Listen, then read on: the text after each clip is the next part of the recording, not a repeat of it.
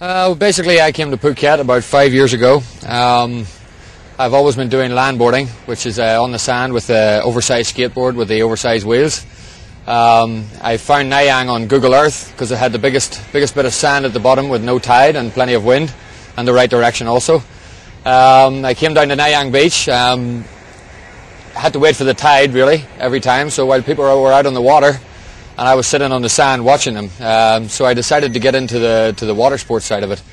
Um, coming from the background of kiting, it wasn't too hard to, to, to change over with sort of very similar movements and similar techniques. Um, uh, after about a, a, year of doing my lessons and whatever here, I, I really noticed there was no safety around here. There was no sort of communal group of people coming together to kite surf. People were very uneducated on the wind conditions, where the coral lies, um, the right times to come here, the wind speeds, everything. So I, I thought it very easy to make a website. The website then progressed into an idea for uh, giving people equipment. I got a lot of people asking me for equipment. Uh, where do we buy it? What do we do? Um, there wasn't really much choice on the island as far as equipment, maybe only one brand. So we brought in a lot of brands. As you can see, we stock quite a lot. Um, after that, we, we decided we would do the school. People asking for lessons, so it's emerged from there. I mean, it's quite expensive equipment, some of it, I guess. Um, depending on the level that you're entering, and uh, usually we, we teach you with beginner kites, and we would also recommend that you buy a beginner kite before you step up further.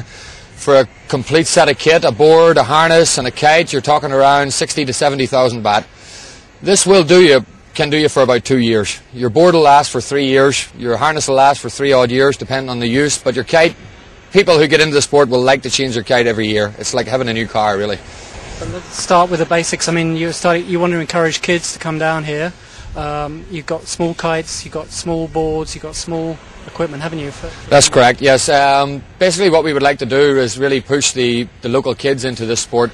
It's actually one of the fastest growing sports in the world right now. Um, people are getting into it all over the place, and the ages we can people start from eight years up. We've got small kites for them. We start them on the land first with a small board, teach them the power of the wind, how to respect the wind, and where the power is, and where not to launch, launch and land their kites. Ideally, we would like to see a lot of young Thai kids coming up and maybe teaching in our school, or maybe in the future events that we hold here, be be part of that. There is also an Asian Championship that's held in the Philippines every year. Uh, currently, I think there's only two or three competitors from Thailand going there.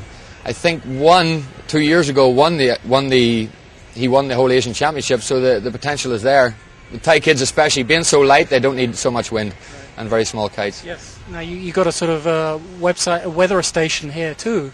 Right behind us, this little uh, fan, isn't yep, it? That's correct. We've got a we've got a weather vane here, um, an anemometer. We've got uh, we can measure the wind speed, wind direction, maximum gust per day, per month, per year.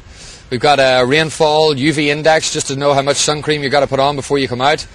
Basically, um, there was nothing like this in Phuket, and again, we're getting calls from people around the island. What's the wind like? What's the weather like? What's it like? We're out on the water. We can't always answer it, so we decided to set this up on the website that's accessible for everybody, really. What's the website address? Uh, the website is kitesurfthailand.com, and if you want to just go kitesurfthailand slash wind, you'll be able to see our live report that's 24 7. Yeah. Right.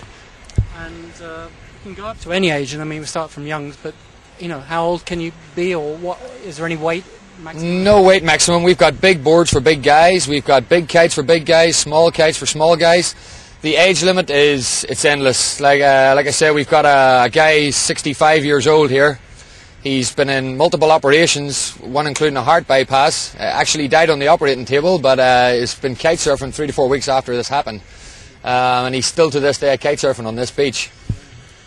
And even if the wind isn't strong enough, you've got a, a bar, a beach club beside, right? That's correct, yes. Well, basically what we're going to do is uh, we've got a projector here as well that we're going to be showing kite surfing DVDs, which explains the basics of the sport. Um, again, understanding the wind and the respect of the wind.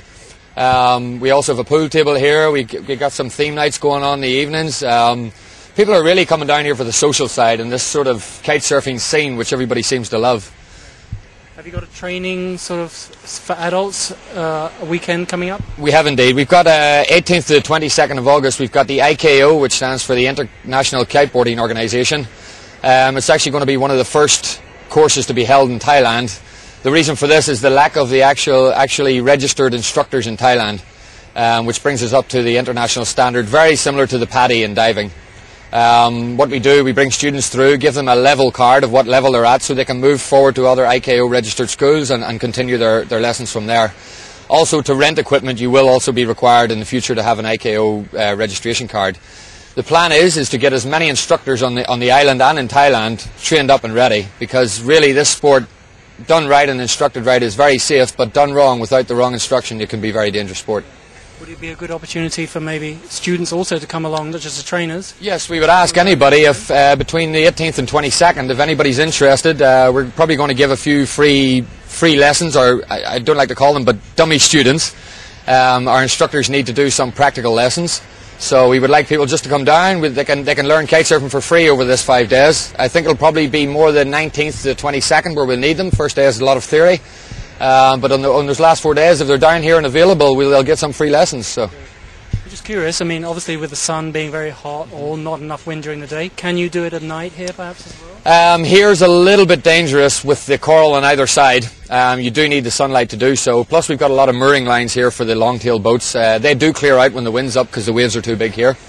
Um, but in our next season, when we move to Chalong, um, we will probably put a little bit of night kiting up there. We're going to put some floodlights out, and probably when the full moon's on, it's nearly bright enough to have a look. Plus, the bay is very shallow and it's very safe there also. You moved